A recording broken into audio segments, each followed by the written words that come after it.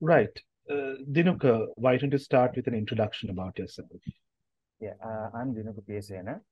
Uh, I studied Java Institute uh, for my BSc degree, and then I uh, went abroad, UK, uh, to uh, conduct my master's. I did uh, my master's computer science in Anglia Ruskin University, Cambridge.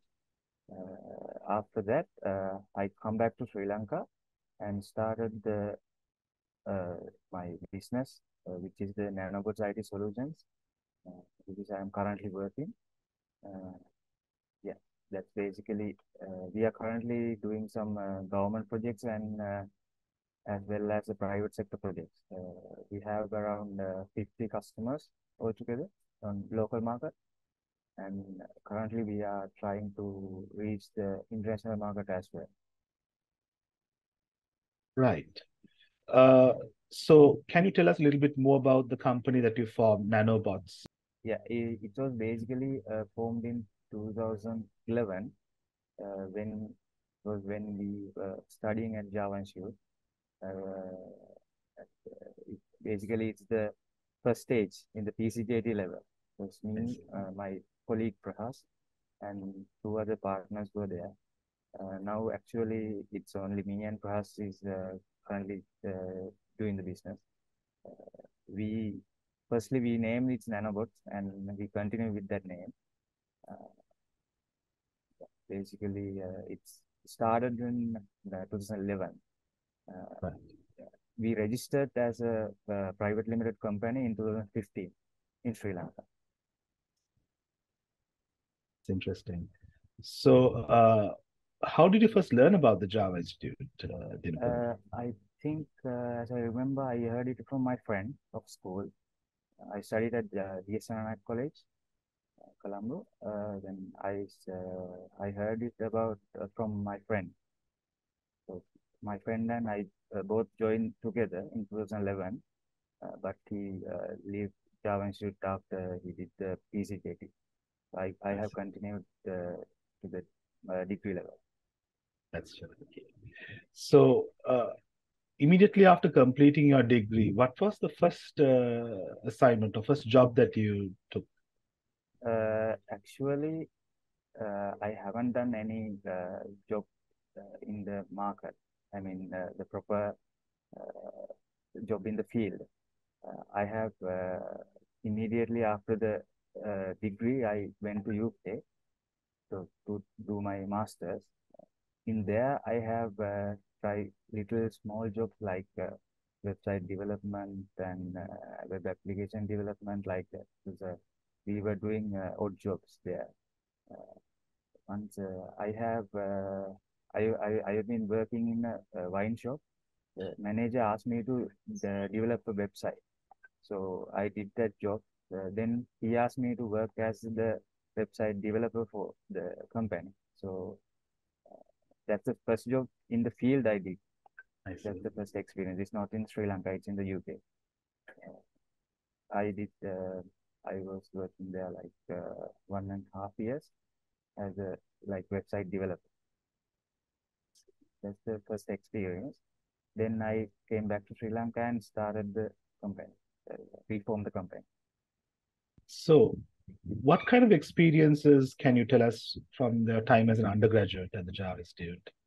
Yeah, uh, that was amazing time because uh, the staff was uh, very friendly and basically the lecturers are very friendly. You can ask anything from them and anytime. I mean, in the even in the early morning or late night, we can ask them anything. They will always uh, ready to help us or taught us or anything and the time was time in there was very uh, actually it's uh, very fun and very very good actually.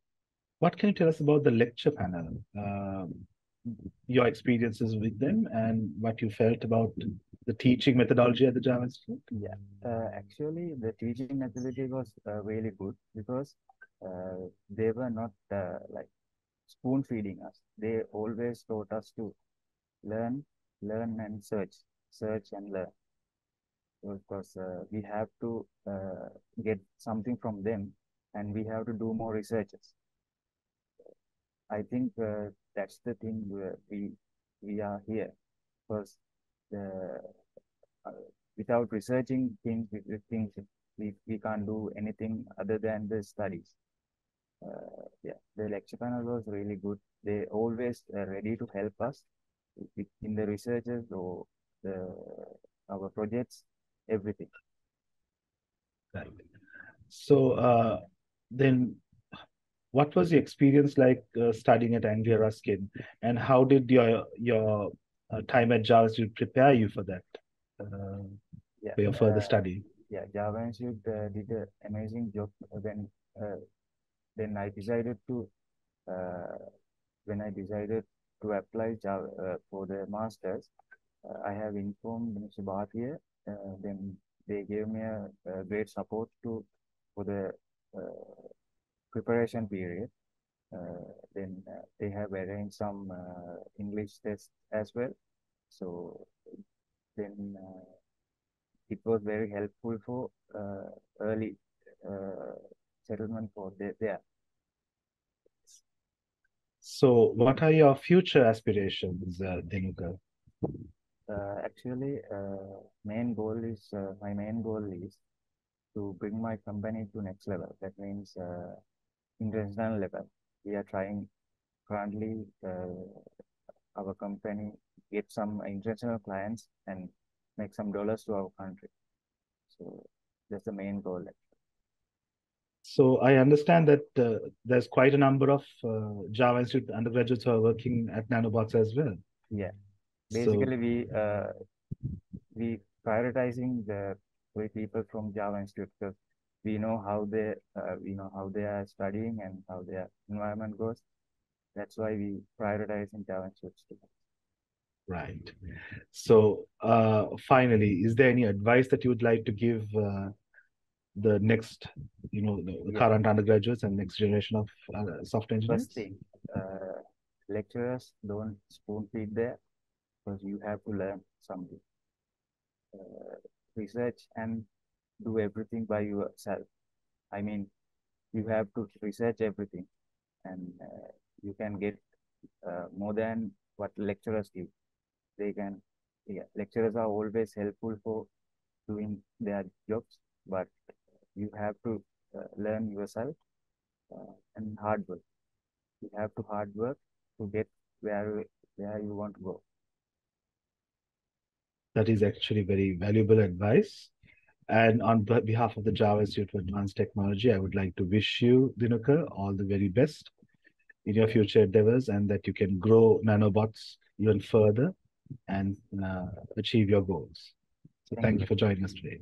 Thank you very much.